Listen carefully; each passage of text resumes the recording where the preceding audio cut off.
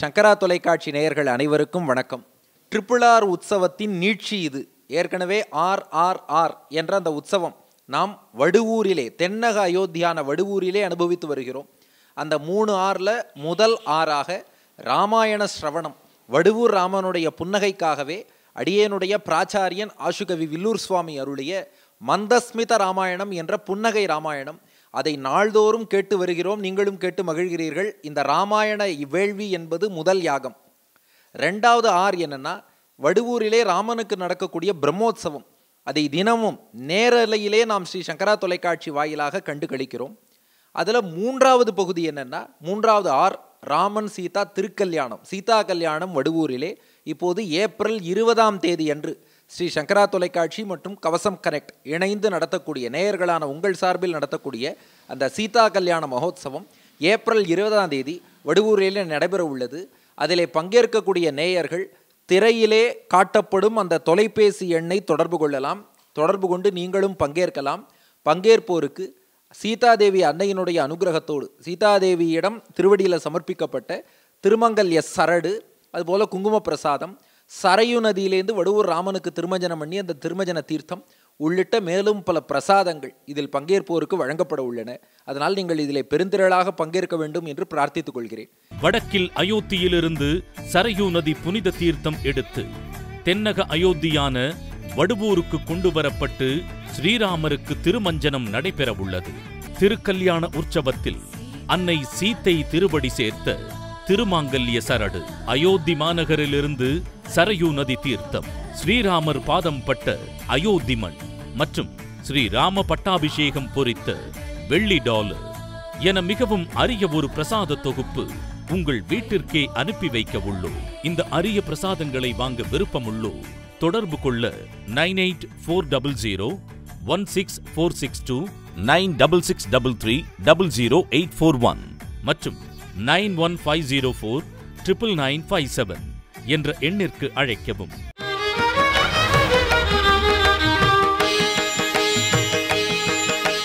ஸ்ரீ சங்கரா தொலைக்காட்சி நேயர்களுக்கு வணக்கம். ஸ்ரீ சங்கரா தொலைக்காட்சி சார்பில் தென்னக அயோத்தியான வடுவூரிலிருந்து R R R triple R உற்சவமாக ராமனை நாம் அனுபவித்து வருகிறோம். ஒரு ராமானுபவத்திலே நாம் மூழ்கி இருக்கிறோம். அந்த ட்ரிபிள் ஆர் உற்சவத்திலே முதல் ஆர் ராமாயண ஸ்ரவண யாகம். ஆம் ராமாயணத்தை ஆசுகவி வில்லூர் சுவாமி வடுவூர் ராமனுடைய புன்னகையை அனுபவித்து அருளிய புன்னகை ராமாயணத்தை நாம் தினந்தோறும் சிரவணம் பண்ணோம். அது முதல் யாகம் ரெண்டாவது ஆறாக ராம நவமி யாகம். ஸ்ரீராம நவமியை ஒட்டி வடுவூர் ராமனுக்கு நடைபெற்ற அந்த பிரம்மோற்சவம் அதை நேரலையிலே கண்டு கழித்தோம் அப்போது காதுக்கு ஒரு யாகம் கண்ணுக்கு ஒரு யாகம் மூன்றாவது யாகம் என்னென்னா சீதாராமர்களுக்கு திருக்கல்யாணம் ராமர் திருக்கல்யாண யாகம். அதான் மூணாவது ஆர். அதாவது ஏப்ரல் இருபதாம் தேதி ஸ்ரீ சங்கரா தொலைக்காட்சி நேயர்கள் கவசம் கனெக்ட் யூடியூப் சேனல் நேயர்கள் அவர்கள் சார்பில் இந்த சங்கரா தொலைக்காட்சியும் கவசம் கனெக்ட் சேனலும் இணைந்து நடத்திய அந்த நேயர்கள் சார்பிலான சீதாராமர் திருக்கல்யாணம் வடுவூரிலே நடைபெற்று அந்த திருக்கல்யாணத்தின் பிரசாதமாக சீதாதேவியினுடைய திருமங்கல்ய சரடு தாயாருக்கு சாத்தின திருமங்கல்ய சரடு குங்கும பிரசாதம் அத்தோடு சரையு நதி தீர்த்தத்திலேருந்து வடுவூர் ராமனுக்கு திருமஞ்சனம் பண்ண அந்த திருமஜன தீர்த்தம் உள்ளிட்ட பிரசாதங்கள் பங்கேற்கும் எல்லா அடியார்களுக்குமே வழங்கப்படுகின்றன. அதனால் அந்த திருக்கல்யாண வைபவம் பூர்த்தியானாலும் இனியும் இப்போது தொலைக்காட்சியிலே உங்கள் ஸ்க்ரீனில் கொடுக்கப்பட்டுள்ள அந்த எண்ணை நீங்கள் தொடர்பு கொண்டால் அந்த சீதாராமர்களுடைய அருட்பிரசாதத்தை நீங்கள் பெற்றுக்கொள்ளலாம். இப்போ இந்த ஸ்ரீராமநவமி உற்சவத்தை ஒட்டிய இந்த புன்னகை ராமாயண சிரவணம் அப்போ காதுக்கொரு யாகம் கண்ணுக்கொரு யாகம் பிரசாத யாகம் என்று ட்ரிப்புள் ஆர் மூணு விதமான யாகம். இதில் புன்னகை ராமாயணம் பிரம்மோத்சவம் பதினெட்டாம் தேதி ஏப்ரல் பதினெட்டோடு பூர்த்தியானது. அத்தோடு நிறைவு செய்வதாக தான் திட்டமிட்டு இருந்தோம் ஆனால் ஸ்ரீ சங்கரா தொலைக்காட்சி நேயர்களான நீங்கள் அளித்த அந்த பேராதரவினாலே இதை சற்றே இந்த மாதம் முடிய ஏப்ரல் முப்பதாம் தேதி முடிய நீட்டிப்பது என்று ஸ்ரீ சங்கரா தொலைக்காட்சி நிர்வாகத்தினர் முடிவெடுத்தார்கள். அதிலே நமக்கு பெரிய பாக்கியம். ஏற்கனவே நாம் புன்னகை ராமாயணத்தை வடுவூர் ராமனுடைய சன்னிதானத்தில் சீதாராமர்கள் முன்னிலையில் அனுபவித்தோம். இப்போது பாருங்கள் ஆசுகவி வில்லூர் சுவாமி அவர் வடுவூரில் இந்த புராண திரு திருமாளிகையில் இருந்து கொண்டு தான் அவ்வளோ தூரம் ராமனை அனுபவித்தவர். அவருடைய இல்லம் அவருடைய திருமாளிகையிலே இருந்து கொண்டு. இப்போ நாம் ஒரு நிமிஷம் நினச்சி பார்க்கணும் இல்லையா?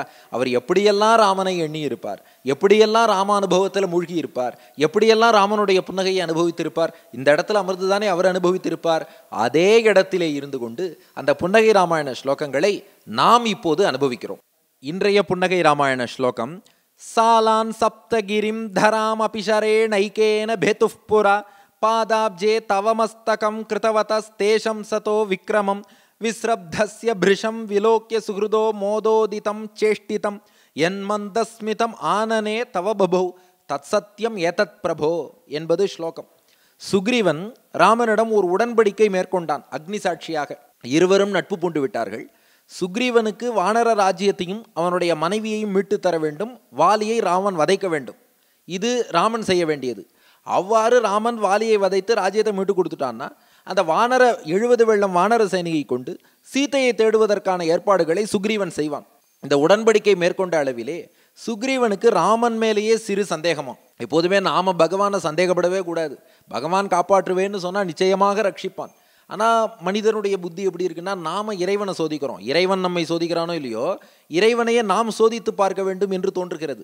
அந்த நிலையில் தான் சுக்ரீவனை என்ன பண்ணுறான் ராமன்ட்ட சொல்கிறான் உன்னால் வாலியை வதைக்க முடியுமான்னு எனக்கு கொஞ்சம் ஐயம் இருக்கிறது. அதனால் ராமா உன்னால் வாலியை வதைக்க முடியும்னு எனக்கு நிரூபித்து காட்டுன்னான். சரி நான் என்ன பண்ணணும்னு கேட்டான் ராமன். அப்போ சுக்ரீவன் சொன்னானா உன்னுடைய பானத்தால் ஒரு மராமரத்தை நீ துளைத்து காட்டு. பொதுவாக யாரா பானம் போட்டால் ஒரு மரத்திலே பானம் எய்யும் போது அந்த மரப்பட்டையில பானம் பட்டு கீழே விழுந்துடும் அந்த பானம் மொத்தமாக மரத்துக்குள் ஊடுருவி துளைத்து கொண்டு மறுபுறம் வெளியில வரணும். அந்த மாதிரி நீ பானம் போட்டு காட்டுமா அதை செய்தாலாவது நம்புவாயான்னு கேட்டான் ராமன். நம்புறேன்னா சுக்ரீவன். வரிசையாக ஏழு சால மரங்கள் அதாவது மராமரங்கள்னு தமிழிலே சொல்வார்கள். ஏழு சால மரங்கள் வரிசையாக இருக்கின்றன. ராமன் தன்னுடைய வில்லிலே பானத்தை பூட்டினான். பூட்டி ஓரம்பை எய்தான். அந்த ஓரம்பு என்ன செய்ததான் வரிசையாக அந்த ஏழு மரங்களையும் பிளந்து கொண்டு பாதாளத்துக்குள்ளே போய் மீண்டும் வெளியே வந்து ராமனுடைய அம்பரா துணியிலேயே வந்து அந்த பானம் அமர்ந்து கொண்டது. இதை பார்த்ததும் சுக்ரீவன் வந்து ராமனை துதித்து ராமா நீ சர்வ வல்லமை படைத்தவன் இப்போது உன்னை நம்புகிறேன்னு ராமன் திருவடியில் விழுந்தானான் அப்போது ராமா நீ ஒரு புன்னகை செய்தாய் என்று அனுபவிக்கிறார் வில்லூர் சுவாமி. அப்போ ஏன் ராமன் புன்னகை செய்தான்னா இப்போவாவது இவன் நம்மை நம்பினானேன்னு புன்னகை செய்தானான் திருமழிசை பிரானுடைய அற்புதமான பாசுரம். கடைந்த பார்க்கடல் கிடந்து கால நேமியை கடிந்து உடைந்தவாலி தந்தனுக்கு உதவ வந்து ராமனாய் மிடைந்த ஏழ் மரங்களும் அடங்க எய்து வேங்கடம் அடைந்த மால பாதமே அடைந்து நாளும் உய்மினோ என்று திருச்சந்த விருத்தத்தில் திருமிழிசைப்பிரான் பாசுரம். என்ன அர்த்தம்னா அன்று சுக்ரீவனுக்கு பெருமாள் மேலே நம்பிக்கை இல்லை. அவனுக்கு நம்பிக்கை ஊட்டுவதற்காக ஏழு மரங்களை பிளந்தான் ராமன். இன்றைக்கு கலியுகத்தில் நமக்கும் பெருமாள் மேலே நம்பிக்கையே இல்லை. அப்போ கலியுகத்தில் நமக்கெல்லாம் நம்பிக்கை தரத்துக்கு என்ன பண்ணுறதுன்னு பார்த்தான். ஏழு மலைக்கு மேலே நின்றுண்டு நான் தான் நம்பிக்கை நட்சத்திரம்னு திருமலையப்பனா ஏழு மலைக்கு மேலே நிற்கிறான் அதனால தான் மற்ற தெய்வத்தை நம்பாதவா திருமலையப்பனை மட்டுமாவது நம்பி அவரை போய் ஒரு தடவை சேவிச்சுட்டு வரா. அதனால் ஏழு மரங்களை பிளந்து சுக்ரீவனுக்கு நம்பிக்கை கொடுத்தவன். ஏழு மலைகளுக்கு மேலே இருந்து கலியுகத்தில் நம்பிக்கை இல்லாத நமக்கும் நம்பிக்கை ஊட்டுகிறான் என்று திருமழிசை பிரானுடைய அனுபவம். அந்த மாதிரி அந்த சுக்ரீவன் இப்போதாவது நம்மை நம்பினானே என்று சுக்ரீவனை பார்த்து புன்னகை செய்தான். அதே புன்னகையைத்தான் வடுவூரில் நம்மை பார்த்தும் பூக்கிறானோ? ஏன்னா நாம் இன்னைக்கு வடுவூர் ராமனை சேவிக்க வந்தோம்னா ராமன் நம்மளை பார்த்து அந்த புன்னகை வாயிலாக கேள்வி கேட்குறானோ ஓ உனக்கும் என் மேலே இப்போ தான் நம்பிக்கை வந்ததா? இப்போ தான் என்னை சேவிக்க வந்தாயா? இத்தனை நாள் மறந்து விட்டாயா? அந்த சுக்ரீவன் எப்படி இவ்வளோ நாள் என் மேலே நம்பிக்கை இல்லாமல் நான் வாலியை வதைப்பேங்கிறத கூட சந்தேகப்பட்டுண்டு ஏழு மரங்களை பிறந்ததுக்கப்புறம் தான் நம்பினானோ? அதுபோல் உனக்கும் என் மீது நம்பிக்கை இல்லையா? இப்போது தான் நாடி வந்தாயா? பரவாயில்ல இப்போது வந்து விட்டாய்.